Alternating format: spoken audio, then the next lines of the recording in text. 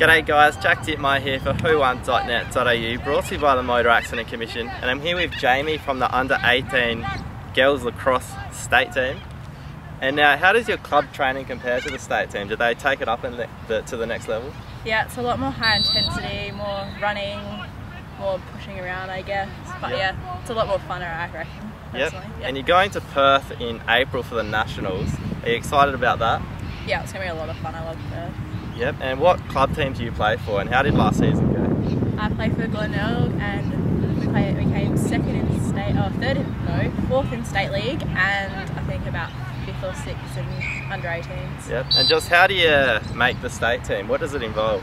I'm going out for a tryout and trialing for about three or four depending on what the coaches want to do and then we get a state letter to see if we make the team. Yep. And has the final team been chosen yet? Not as yet, we find out in probably about two or three weeks from another letter. Alrighty, well good luck for that Jaimi.